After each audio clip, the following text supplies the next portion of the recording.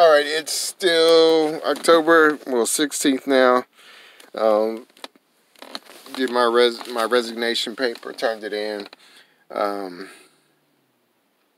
got to text my uh, manager because he wasn't here today. Let him know that I won't be in next week. Next week's, so I'm done.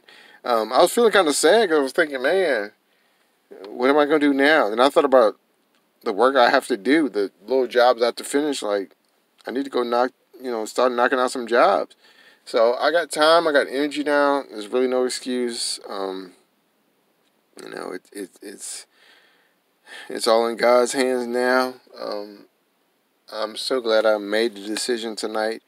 Um, it's deja vu. It's like when I was with the city schools, I had a date set January 15th.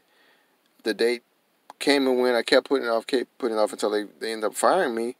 And it just wasn't that I got fired, just the whole process I went through was just, it was crazy. And, you know, but at the end, I had to, I had to blame myself for it. I just say, if you would have resigned, you would have never been in this situation.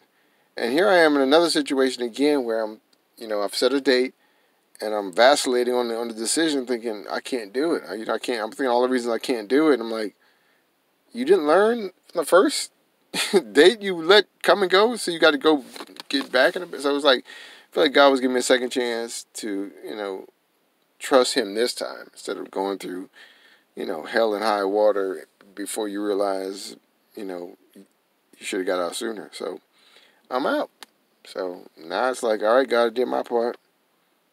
Let's see what you got. And you know what? If it don't work, I can always get another job. I mean, you know, even somebody watching this, they don't believe. Like, I mean, it's it's a, it was an eight dollar an hour job plus tips. I mean, I think I can I can find something else out there. I mean, it was a great job, you know, but I mean, there's other jobs out there. So we'll give this a try, see how it goes. Um, I got to work, so it'll work. All right, I'm on my way to Makerspace. Gonna put in a few hours. It's about one o'clock in the morning, so I got to do at least four hours. Get home, get some sleep, get up, hit the gym, then get back at it. So that's that's, that's what we're gonna do.